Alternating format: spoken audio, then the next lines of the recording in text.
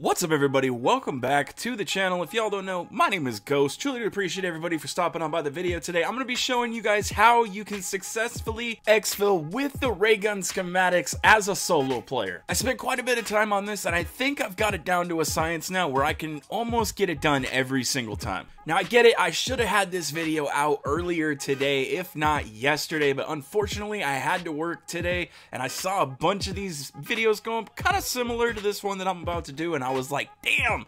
So if you guys can do me a huge, huge favor, drop a like on this video if you guys enjoy zombies content or if I help you out or if you just enjoy watching the content. I greatly, greatly do appreciate you guys. I'm gonna try to make this short and sweet. So in order to get the ray gun schematics, which is going to allow you guys to craft your ray gun every 48 hours and be able to start a match right off the bat with the ray gun, well, there's only one place to find these things and you're going to have to start a bounty contract in the highest threat level zone in the red zone. So I'm gonna run through the steps somewhat quickly here. I already did a short that's on this, but I'm going to go a little bit more in depth on this one. So very first thing you guys are going to need, you're going to need $10,000 and a fast vehicle. As soon as you start the match, go ahead and pull up the map and ping one of the closest vehicles that you have to you, at least so you can get around and do your contracts nice and quickly. This usually takes roughly about three contracts. You can get it done while shooting zombies and everything else. You should even out right around $10,000. Also, the cargo contract is probably one of the better ones that you guys can do because it gives you a pretty strong vehicle that lets you go into the red zone without too many issues as long as you avoid zombies and running into the abomination. Once you get your $10,000 though, go ahead and pull up your map and ping the closest buy station that is in the red zone. Usually there's only one, but sometimes you'll get lucky and there's two. Drive straight for the buy station and go ahead and buy yourself a Juggernaut. Once you acquire the Juggernaut, go ahead and pull up your TAC map again and ping a bounty contract. Once you pick up a bounty contract that is in the red zone, you're gonna have to see if it is the Mega Abomination because he's the only one that's gonna drop you the schematics for the ray gun. If you get another boss, go ahead and cancel out the contract and try for a new one, or just go ahead and kill that boss if you want to. Once you acquire the bounty for the Mega Abomination, go ahead and drive straight for him, but make sure you don't get too close, but be close enough so that way when you throw the Juggernaut down, you're gonna have enough time in the suit to fully kill him. You could get lucky and get this on your very first try, or it might take you a few tries, but if you do get it, and when you do get it, my honest advice for you is to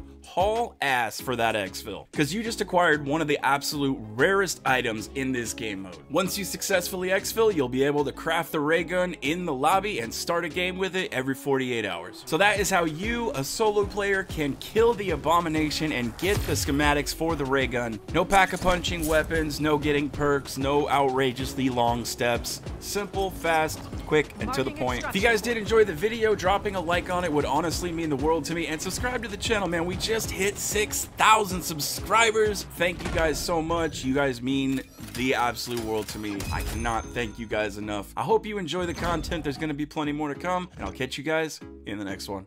Later, everybody.